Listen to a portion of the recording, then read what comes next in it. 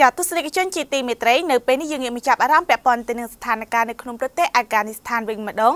ដោយសហរដ្ឋអាមេរិកបានប្រកាសពីការពន្លឿនកិច្ចសហប្រតិបត្តិការនៅក្នុងការដឹកជញ្ជូនមនុស្សចេញពីប្រទេសអាហ្គានីស្ថានក្រោយពេលដែលក្រុមតាលីបង់បានប្រកាសថាខ្លួនទុកពេលឲ្យកងកម្លាំងអន្តរជាតិ តែមួយសប្តាហ៍ទៀតតែប៉ុណ្ណោះនៅក្នុងការជំលះមនុស្សចេញពីប្រទេសអាហ្គានីស្ថាននេះបើតាមការចេញផ្សាយដោយទីភ្នាក់ងារសារព័ត៌មាន AFP ដែលបានចេញផ្សាយនៅថ្ងៃទី24ខែសីហាឆ្នាំ2021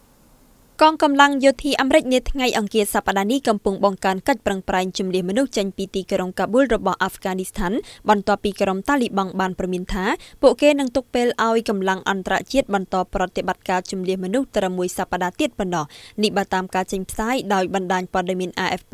នៅថ្ងៃអង្គារទី24ខែសីហាឆ្នាំ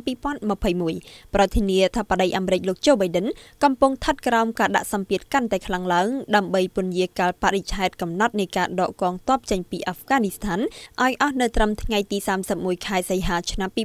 2021គិតចាប់តាំងពីក្រុមតាលីបង់បានគ្រប់គ្រងប្រទេសអាហ្វហ្គានីស្ថានកាលពី10ថ្ងៃមុនជនបរទេសនិងប្រជាជនអាហ្វហ្គានីស្ថានសរុបប្រហែល50000នាក់ត្រូវបានជំនះចេញពីប្រទេសនេះតាមរយៈអាកាសយានដ្ឋានទីក្រុងកាប៊ូលមកទល់ពេលនេះពលរដ្ឋអាហ្វហ្គានីស្ថានរាប់ពាន់នាក់នៅតែកំពុងបន្តប្រមូលផ្ដុំគ្នានៅខាងក្រៅប្រលានយន្តហោះកាប៊ូលដដែលខណៈពួកគេភ័យខ្លាចអំពីជីវិតរស់នៅក្រោមការដឹកនាំរបស់ក្រុមតាលីបង់គូបញ្ជាក់ថាចាប់តាំងពីចូលកាន់កាប់រដ្ឋធានីកាប៊ូលកាលពីថ្ងៃទី15ខែសីហាឆ្នាំ